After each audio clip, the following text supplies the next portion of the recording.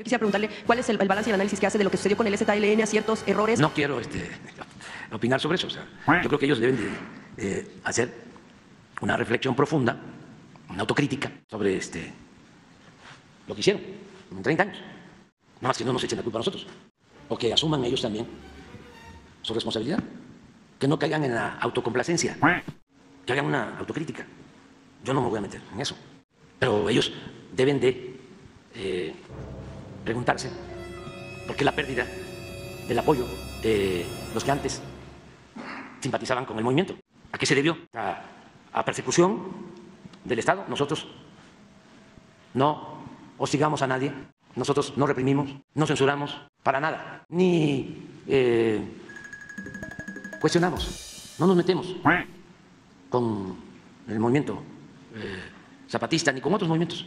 Pero lo considera un movimiento alejado al- a lo que usted ha Ya marcado. ya lo la planteé, ya lo planteé.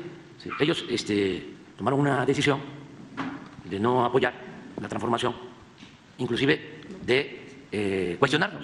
Y está bien, y vivimos en un país libre y democrático.